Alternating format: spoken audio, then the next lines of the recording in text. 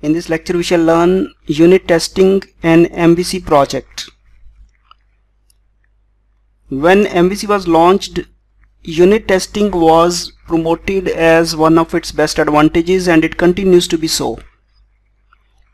For a smaller project, unit testing doesn't have to carry any meaning because testing can be done on smaller projects by using breakpoints etc but as your project begins to grow complex, more and more modules get added with interdependencies, messages passing from one um, part of your project to another part.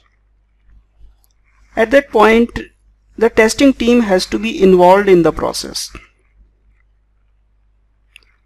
So unit tests they are written basically to test the output in a more systematic manner whether uh, a particular controller or an action method is returning the correct results or not so that debugging becomes easier.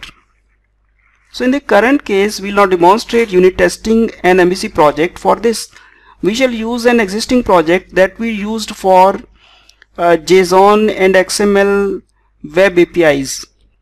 We shall continue the same project and extend it for unit testing. Let us do so. This is our current project that we were doing the last time. Returning get data, HTTP get and all.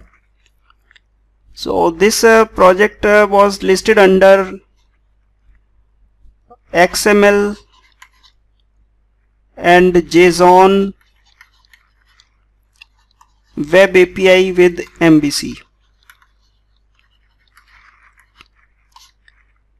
So you can refer this project that at that point but it is not about this particular project. The whole point is that this is just an existing smaller project that we are using to uh, demonstrate unit testing.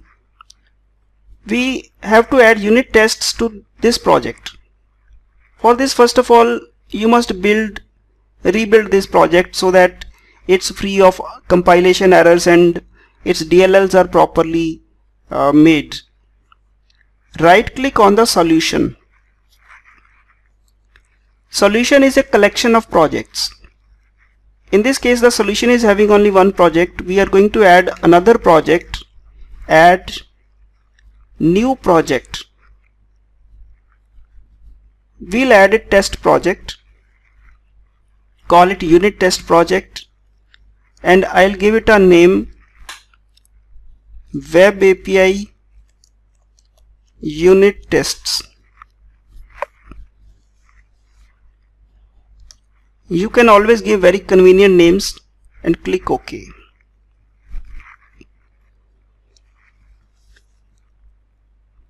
Let us see what it has made for us. It has basically created one file unit test1.cs it's a starting point for us where we'll write test methods so as to test the functions of web API project. This is another project and that is another project. If I have to test the functions of that project, I must add a reference of web API project to web API unit tests. Right click add reference. Click on the solution project web API project. This is the project that we are interested in testing.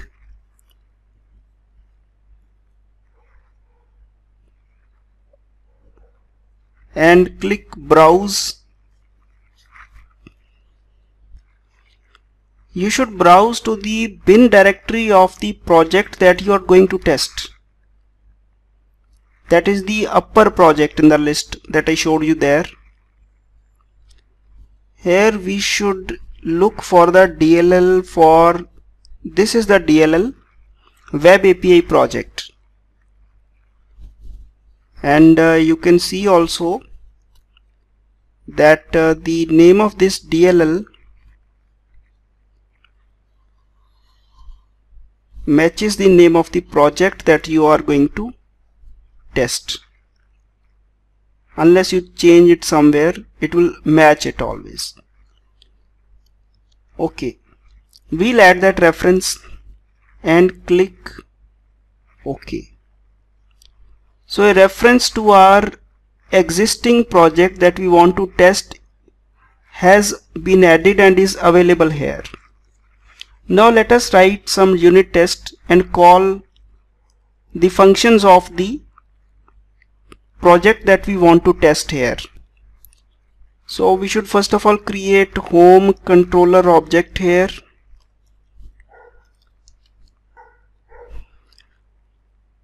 We'll have to right click and resolve. Because that DLL was added it resolves to the controllers of the original project. So I am creating its object here is equal to new home controller I am creating an object of this home controller of the project that I want to unit test this is being made inside a function of the unit test project.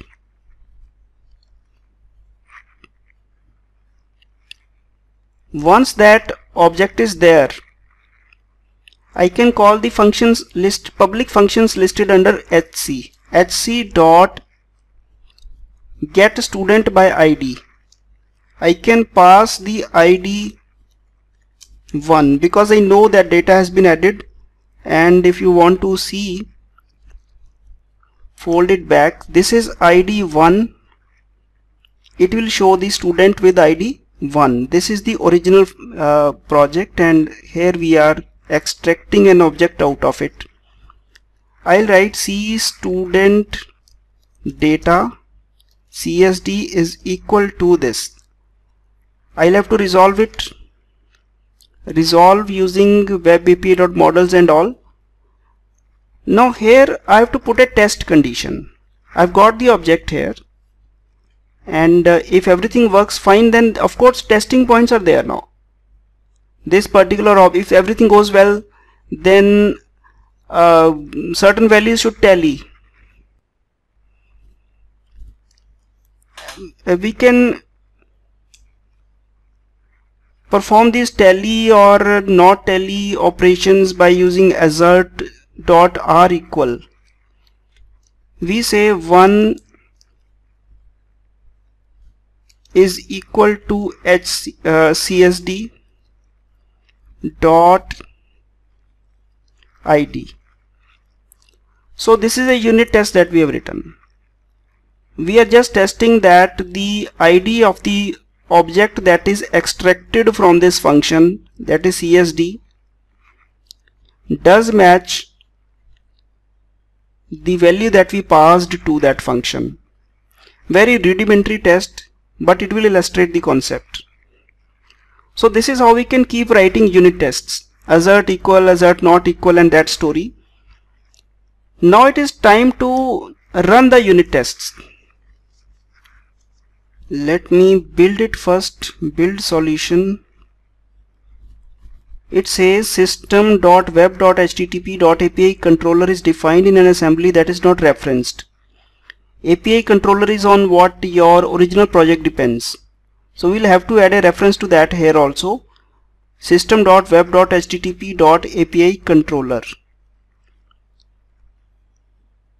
Add a reference here. Add reference. Or if I can browse I'll find it there. System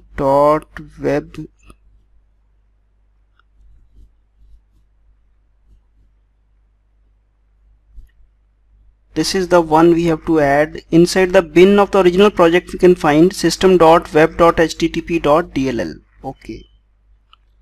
Click ok. And now let us build rebuild the current solution.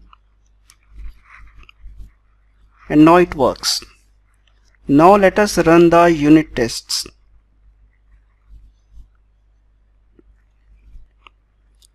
we'll right click anywhere here. Run tests. Okay. The test explorer appears on the right side and it says test method 1 has been tested with. So this is the method that we tested and it is available inside the test explorer so all your methods that you want to test will appear in the explorer here. Failed will be with a red cross and all. You can run all. If you want to rerun all of them. And this is a summary window for all the tests that you made and the results that you get. So this is what it is all about just you have to add a unit test project to your solution explorer and add proper like uh, DLL references to whatever dependencies are there for the original project and the DLL of the original project itself. And then you come to writing test methods. One of one uh, skeleton is already created for you you have to just keep on extending it. And you can call the create the objects of the controllers directly here. View the expect run the functions. And then write the test conditions.